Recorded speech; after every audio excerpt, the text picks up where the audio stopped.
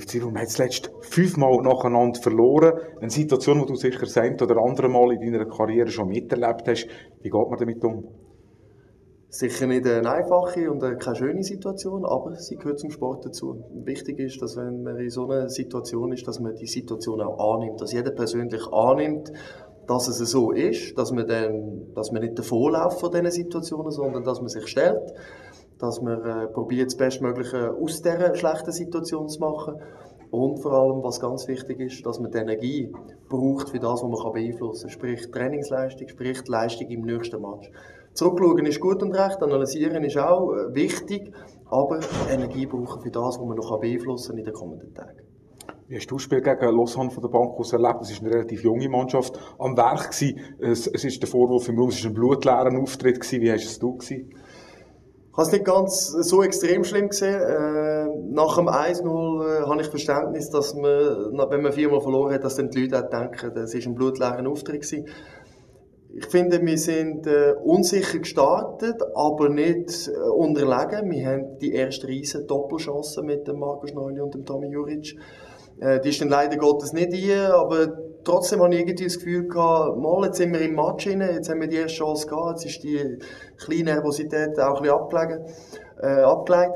Und dann nach dem 1-0 hat man gemerkt, wie das Ganze ein bisschen zusammenbricht. Dann kommen die Selbstzweifel wieder. Äh, Zuspiele sind nicht mehr ganz so genau. Es geht nicht mehr so leicht von der Hand, was aber nichts anderes als normal ist, äh, wenn man vorher viermal verloren hat und relativ viel Kritik müssen einstecken aber es gilt jetzt äh, vor allem für die Jungen, aber auch für alle anderen, aus diesen Situationen zu lernen. Äh, Im Fußball ist halt leider Gottes kein Wunschkonzert, wo man immer kann, äh, wenn es einem nicht so gut läuft, äh, wünschen, dass es jetzt wieder besser läuft. Man soll sich der Situation stellen, vorwärts schauen, möglichst viel mitnehmen aus diesen, aus diesen negativen Erfahrungen, weil das kann im Hinblick auf die ganze Karriere noch sehr hilfreich sein.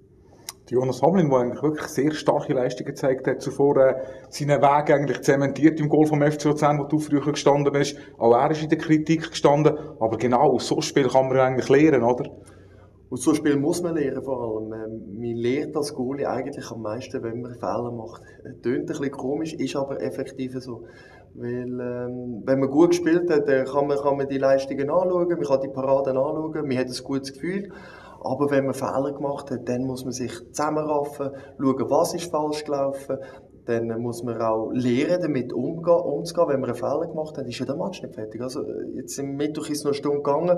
Und aus meiner Sicht hat er das hervorragend gemacht. Es ist nicht einfach, im Goal zu stehen, ähm, ein, ein Goal überzukommen, wo man eigentlich müsste haben. Äh, jeder weiß das, mir selber weiß das auch. Und es geht noch eine Stunde. Und, äh, mich hat beeindruckt, wie Jonas die Situation gemeistert hat, den Match trotzdem noch, noch größtenteils super abgespielt hat und, und denke für sich auch noch ein bisschen Sicherheit können gewinnen dann gilt es jetzt natürlich in der Nachbetrachtung, äh, das zu analysieren, aber nicht zu lange aufhalten an einem Fehler, weil es sind mehr Aktionen gut gewesen, als Aktionen, die nicht gut sind. Und das Gute, es geht weiter. Der Match ist vorbei, abhökeln, vorwärts schauen, jetzt kommt Sion. Dort unten hat er ja zu Null gespielt im Cup Halbfinale über 120 äh, Minuten, also soll ihm ein gutes Gefühl geben. Und dann soll er auch mit dem guten Gefühl können ins Goal stehen am Wochenende dass der Obwaldner, der Nidwaldner im FCL Goal ablöst, ist Plan gewesen, ist ein Plan über äh, mehrere Jahre, wo man damit verfolgt hat. Wie äh, schaust du zurück für die Realisation? Ich denke, wir können da beim FC Luzern enorm stolz sein, wie die Ablösung äh, vonstatten gegangen ist. Äh, wir haben Jonas sehr bedacht angeführt. Er ist dann zwischenzeitlich noch ein Jahr zu Le Mans gegangen für Persönlichkeitsentwicklung, auch mal weg gerissen worden aus seinem, aus seinem gewohnten Umfeld. Und jetzt hat man gemerkt, als er ist, dass er wirklich einen riesen Schritt in der Persönlichkeit vorwärts gemacht hat, dass er es technisch, äh, goalie-technisch getroffen hat. Das hat man schon immer gewusst. Und äh, die Leistungen von Jonas sind eine Bestätigung, dass man da wirklich äh, sehr einen guten Plan mit ihm hat, dass man dann jetzt so mit mir äh, die Ablösungen können umsetzen, ist natürlich äh, sensationell.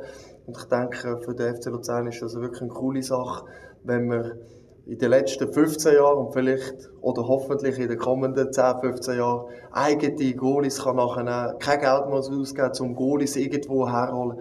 Das ist sicher eine sehr gelungene Sache und, und denke, macht auch jedem Fan, wo, wo da ins Stadion kommt, Freude, wenn da auch Innenschweizer im Goal vom FC Luzern stehen. deine neue Rolle hast schon eine gewisse Zeit in sich. Wie muss man sich das vorstellen? Du gehst ja nicht in den Sackbaum auf die Bank und auch der Trainingsalltag wird sich nicht gross verändert haben. Es hat sich eigentlich überhaupt nicht viel verändert. Das Einzige, was sich verändert hat, die 90 Minuten am Wochenende, bin nicht mehr ich, sondern der Jonas. Das ist das Einzige, was sich verändert hat. Ich fühle mich nach, nach wie vor enorm wichtig in der Mannschaft. Ich bin nach wie vor in jedem Training dabei. Ich gebe auch komplett vollen Einsatz weil ich Respekt habe vor der Situation, wenn irgendein etwas ist, dass ich rein muss. Also ich tue mich gleich professionell vorbereiten. Es ist nicht so, dass ich jetzt äh, äh eine Grillübung organisiere, einen Tag vor dem Match daheim, überhaupt nicht, sondern wirklich professionell vorbereiten, weil ich einfach wirklich grossen Respekt habe vor der Situation, dass ich rein muss. Und dann verlange ich von mir persönlich, aber bin auch schuldig der Mannschaft gegenüber, dass ich dann äh, funktioniere. Und darum wollte ich bestmögliche Voraussetzungen schaffen, dass es mir dann auch gelingt, wenn es einmal so ist. Weiter äh, sehe ich den Match nicht mehr von hinten, sondern von der Seite. Äh, das Dirigieren ist nach wie vor noch ein bisschen mehr innen. Aber äh, ich denke, wenn ich der Mannschaft helfen mit einem Kommando, äh, ist, ist ja da niemand böse. Du hast dich über längere Zeit können vorbereiten dass der Tag X einmal kommt. Ist es so passiert, wie du eigentlich gedacht hast? Es ist so passiert, vor allem, wie ich es mir äh, gewünscht habe und wie wir es uns vorgestellt haben. Es ist nicht... Äh, dass ich alleine mir das so vorgestellt habe, sondern das ist ein, ein, ein Prozess gewesen, der vom ganzen Verein getragen worden ist. Also angefangen vom Präsidium über den Sportkoordinator, vom Trainer, vom Goalie-Trainer und vom Jonas und mir. Also äh, es ist wirklich äh, sensationell abgelaufen, so wie es jetzt war. Und da können wir wirklich stolz sein, dass wir das so können umsetzen können, wie wir es irgendwann mal auf Papier äh, aufzeichnen können. Kommen wir zurück zu der Meisterschaft. Man steht eigentlich wie von einem Charaktertest. Man hat noch drei Spiele, wo man möglichst positiv beenden Im Kampf um Europa ist man auch noch dabei. In welcher Form kannst du da deinen Support leisten?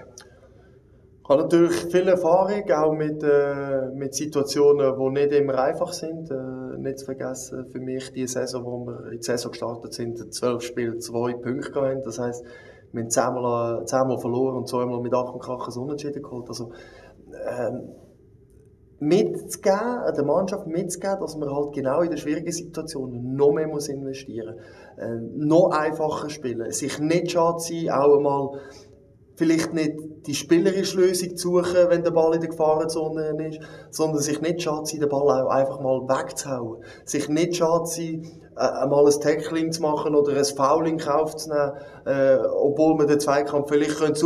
Also, äh, es ist ein bisschen zurück zu den Basics, äh, zurück ein bisschen zum unkonventionellen Spiel, äh, weniger schön spielen, sondern mehr, mehr mit, mit Aggressivität, mehr, mehr Kick and Rush, sage ich jetzt eigentlich äh, einfach zurück zum Einfachen auch. Und das wird der Weg sein, wo wir jetzt halt die letzten drei Matches so machen dann äh, möglichst alles investieren, dass wir äh, europäisch können, können, äh, ein Wörtchen mitreden nächstes Jahr. Und dann gilt es in der, in der Vorbereitung dann wieder äh, die Spielstärke, die wo, wo wir in unserer Mannschaft steckt, auch wieder äh, zu trainieren, die Automatismen wieder zu holen.